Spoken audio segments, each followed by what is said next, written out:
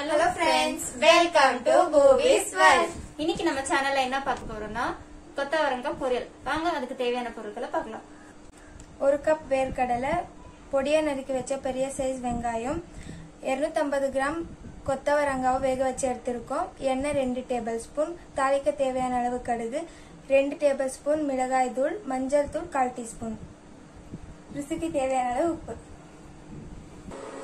வாங்க எப்படி செய்யறதுன்னு பார்க்கலாம். அதுக்கு முதல்ல ஒரு கப் வேர்க்கடலையை வறுத்து எடுத்துக்கலாம்.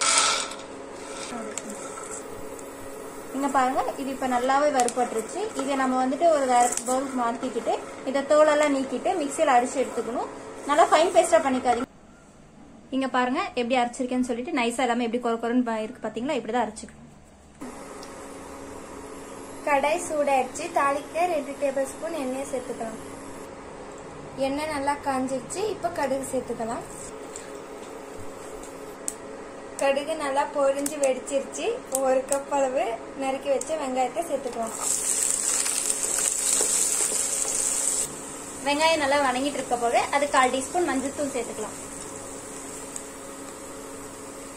வெங்காயம் நல்லா வதங்கிருச்சு. இப்போ வேக வச்சு எடுத்திருக்க காயை இது கூட சேர்த்துப்போம்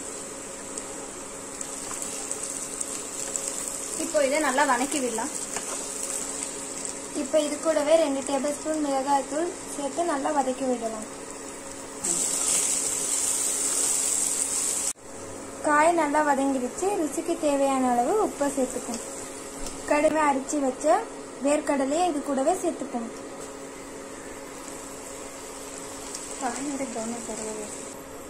இப்போ இந்த வேர்க்கடலை சேர்த்துட்டு நம்ம ரொம்ப நேரம் இதை கிளறி விட தேவையில்ல. சும்மா ஒரு கிளறு கிளறிட்டு இறக்கி வச்சுட்டா போதும். ஸ்டவ் ஆஃப் பண்ணி நம்ம இது சர்வ் பண்ணலாம்.